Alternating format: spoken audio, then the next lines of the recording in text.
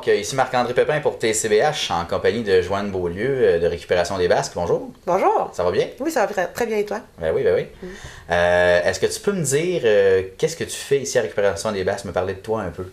Euh, moi, en fait, je suis directrice ici depuis le mois de décembre 2016. Donc, je suis en charge de tout le personnel de la direction des opérations. OK. Puis ça appartient à qui, ce Récupération des Basques? Récupération des Basques est un OSBL qui a été fondé en 92. Euh, Initialement, ça a été fondé dans les locaux de l'école secondaire. C'était un projet qui visait à encadrer euh, des jeunes euh, euh, en difficulté d'apprentissage. Puis depuis, ben, ça a pris l'ampleur que ça a aujourd'hui. OK. Juste pour les gens qui ne savent pas c'est où, est-ce que tu peux nous situer un peu à Trois-Pistoles? Aux deux routes à cœur. À Notre-Dame-des-Neiges? Exact, oui. OK.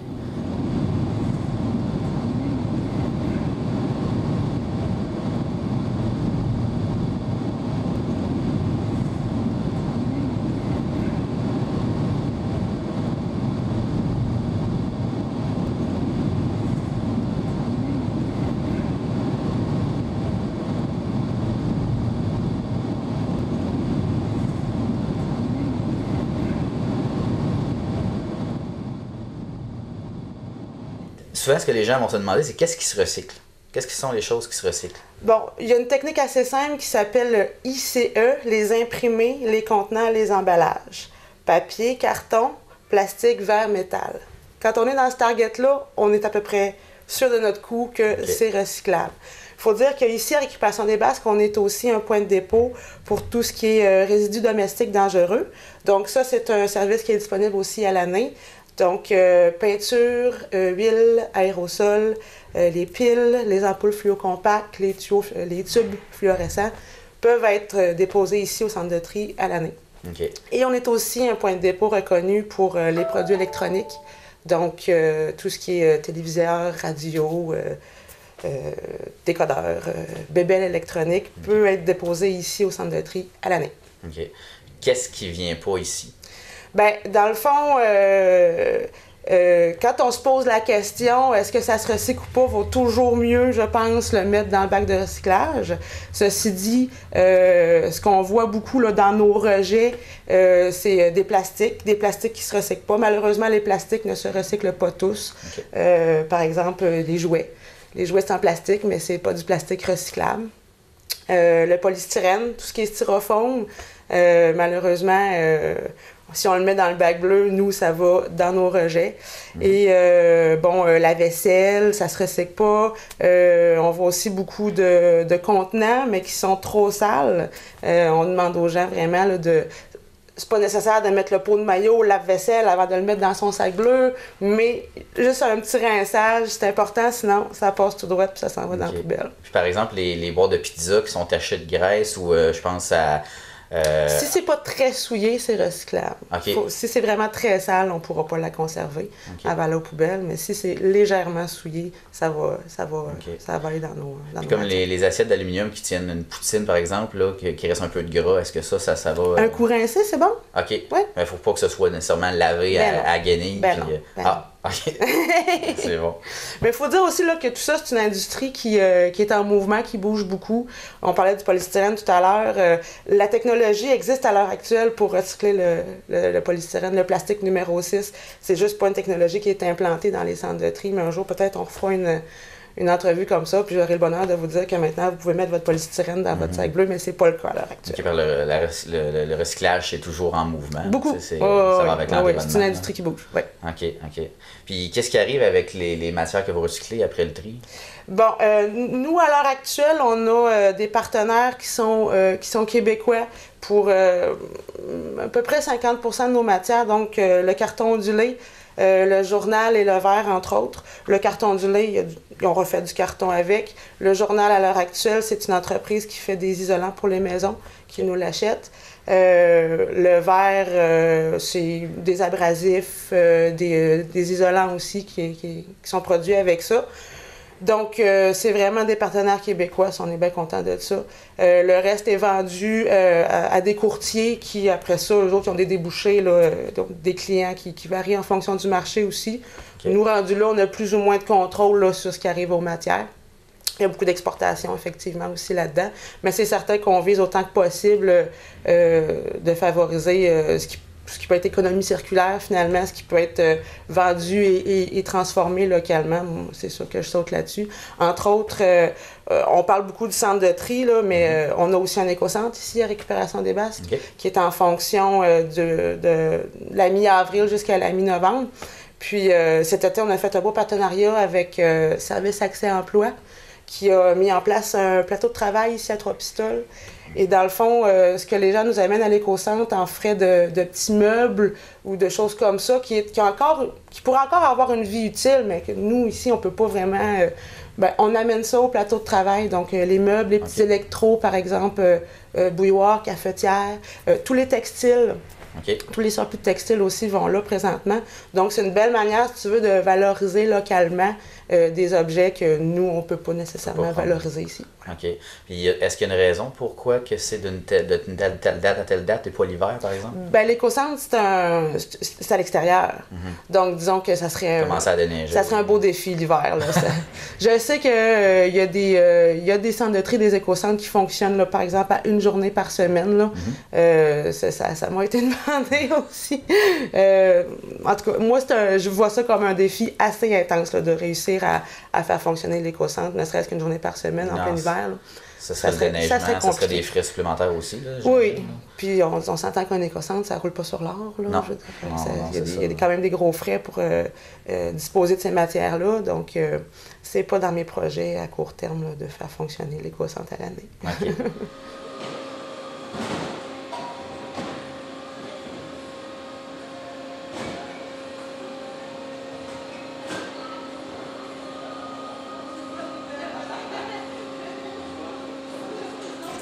Donc, une, particularité qu'on a ici, c'est que le centre de tri au complet est chauffé euh, aux granules de bois. C'est des granules qu'on produit nous-mêmes. Dans le fond, euh, tous les, euh, les, branchages qui nous sont apportés à l'éco-centre durant l'été, on, on, les déchiquette, on les fait sécher et on les transforme en granules qu'on utilise ensuite pour chauffer le centre de tri. On chauffe uniquement aux granules qu'on produit. OK.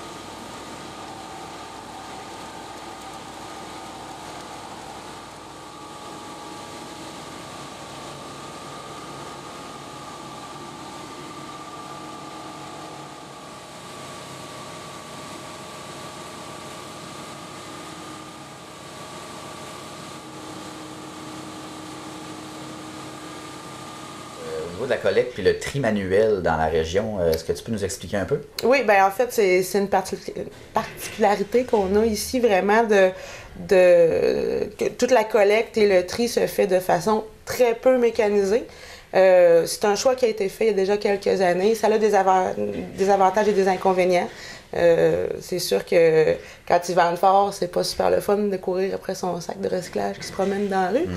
Mais au niveau des avantages, l'avantage majeur, c'est que ça nous permet de maintenir des emplois.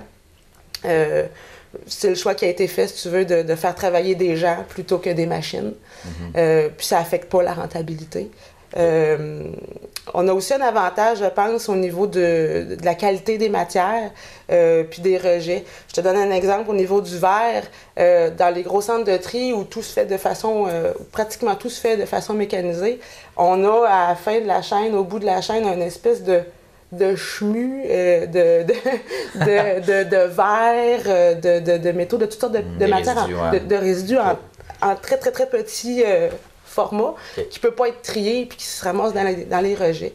Donc, d'après moi, on a vraiment un avantage ici à ce niveau-là. Vu que la collecte se fait de façon manuelle, la bouteille de vin qui s'en va dans le sac bleu, bien, elle arrive ici sous forme de bouteille et non sous forme de, OK. Vers tout péter. OK. Ah, c'est un- avantage. Effectivement, oui. Puis les employés ici, ils travaillent, euh, est-ce qu'ils ont des outils de travail? Comment ils fonctionnent? C'est, comment ça fonctionne le tri avec. euh, Ben, le tri comme tel, on, on fonctionne avec un convoyeur quand même.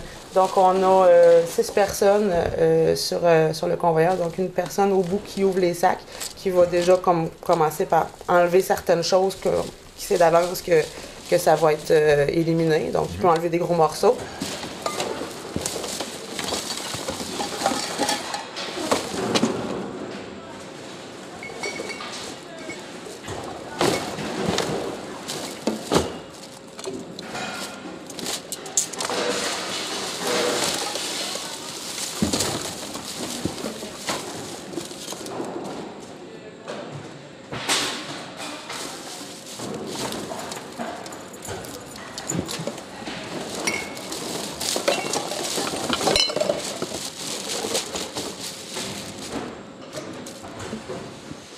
Ça monte sur le convoyeur. Au niveau du convoyeur, on fait ce qu'on appelle du tri positif. C'est-à-dire que les gens, bon, il y en a une personne qui est affectée, mettons, au plastique, un autre au carton, euh, le papier, l'aluminium. Donc, ils vont chercher ce qu'ils ce qui, ce qu'ils voient de, de bon, puis ils l'envoient dans des chutes.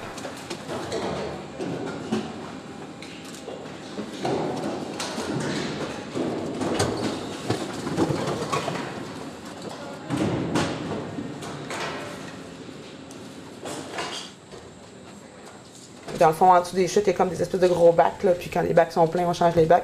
Puis on va presser ça.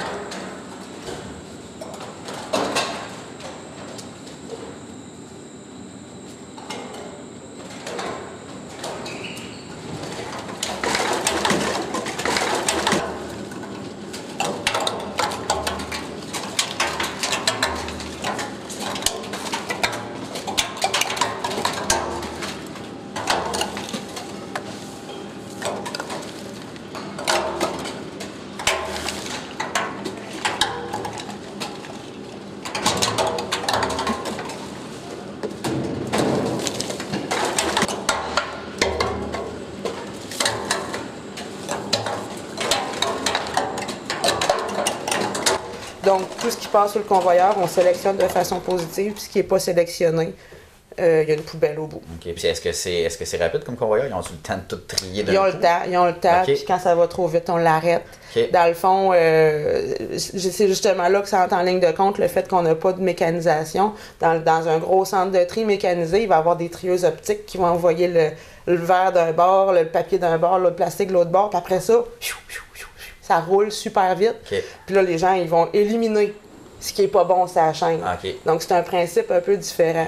Nous autres, on n'élimine pas ce qui est pas bon, on prend ce qui est bon, puis on prend le temps de trier comme il faut pour que ce qui reste au bout, c'est vraiment juste qu'est-ce qu'on peut pas OK, d'où le tri conserver. positif. là, Voilà, OK, exact, OK, voilà. OK, ah, c'est bon. Euh, Est-ce qu'il y a des euh, modifications au niveau des horaires de récupération des basques? Oui, effectivement, je suis bien contente que tu abordes le sujet. Dans le fond, en 2018, janvier 2018, on va avoir euh, des modifications importantes au niveau de Trois-Pistoles et Notre-Dame-des-Neiges uniquement. Ça touche seulement ces deux municipalités-là.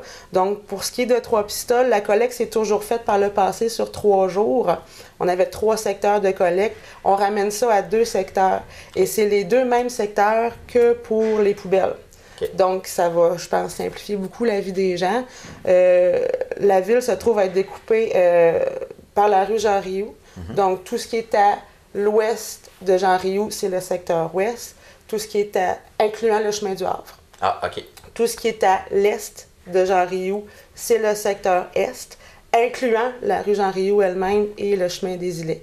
Donc, c'est ça nos deux secteurs maintenant. Le secteur Est se fait le lundi, le secteur Ouest se fait le jeudi.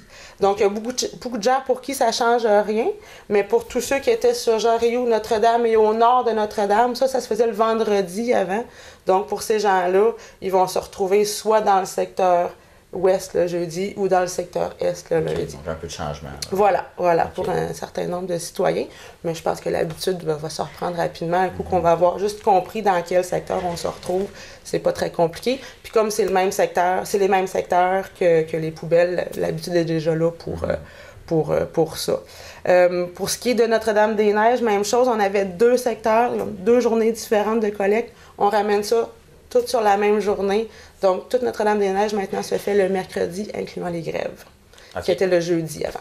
OK, OK. Voilà. Euh, de toute façon, les gens, ils ont le petit, euh, un petit calendrier qu'ils peuvent recevoir. Le calendrier, normalement, est reçu dans toutes les boîtes postales de la MRC. C'est envoyé par les municipalités. Les nouveaux calendriers 2018 sont déjà sortis à l'heure actuelle. Euh, sont disponibles sur le site de la Coeco aussi et vont être disponibles sur le site web de récupération des basques Super. OK.